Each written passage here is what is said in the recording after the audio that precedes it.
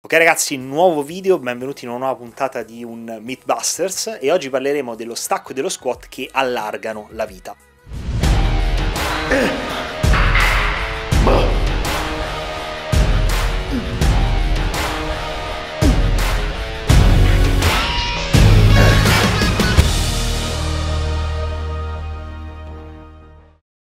L'idea è quella che nel momento in cui facciamo questi esercizi a grande sinergia muscolare, in cui abbiamo bisogno di una forte, da una parte pressione diaframmatica e dall'altra una forte stabilizzazione del core, andremo a sollecitare tutta la muscolatura della parete addominale, quindi anche il trasverso dell'addome e conseguentemente andremo a inspessire quelli che sono i fianchi e quindi allargare tra virgolette la vita. Quanto c'è di vero? Beh, in realtà eh, non tanto, nel senso che sicuramente ci sarà una stimolazione di questi muscoli, però realmente l'intervento intervento e l'impatto che ha da un punto di vista ipertrofico e visivo questo allargamento della vita è veramente veramente minimo. Si tratta di quei miti che se da un punto di vista teorico hanno perfettamente senso, quando andiamo a vedere poi l'impatto pratico, l'impatto eh, proprio quantitativo, allora capiamo che non ne vale la pena. In altre parole, sicuramente il beneficio che possiamo avere nell'inserire uno stacco e uno squat supera di gran lunga il malus di un minimo allargamento e spessimento della vita, che comunque possiamo andare ad annullare da un punto di vista di effetto di V-shape, semplicemente lavorando lavorando un po' di più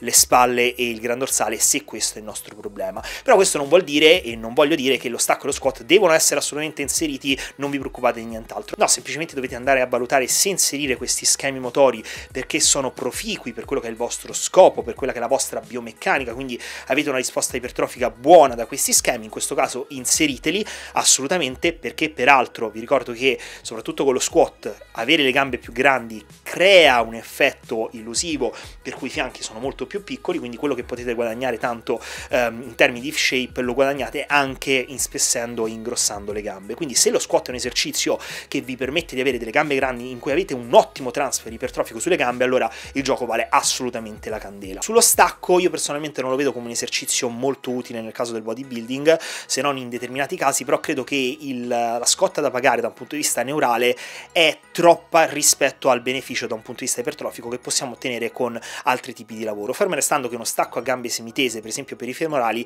è veramente un grandissimo esercizio, stesso cosa per i glutei. E anche in questo caso il discorso di andare ad inspessire e creare ipertrofia sui femorali e sui glutei va a portarci un effetto ottico di eh, riduzione della vita che supera di gran lunga quel minimo impatto che ha la stimolazione del core. Quindi da questo punto di vista il succo del discorso è che se stacco e squat, secondo i principi di scelta degli esercizi che abbiamo più volte visto, sono degli esercizi che si prestano bene da un punto di vista di stimolazione ipertrofica, allora inserire inseriteli tranquillamente senza paura di andare a rovinare il core, perché veramente l'impatto che può avere da un punto di vista ipertrofico è impercettibile, perché ricordiamo che non andiamo a stimolare direttamente il core, ma è soltanto un intervento di stabilizzazione fisiologico del distretto. Anche per questo video è tutto, qua sotto con tutti i commenti e detto questo ci vediamo al prossimo episodio di questo Mythbusters.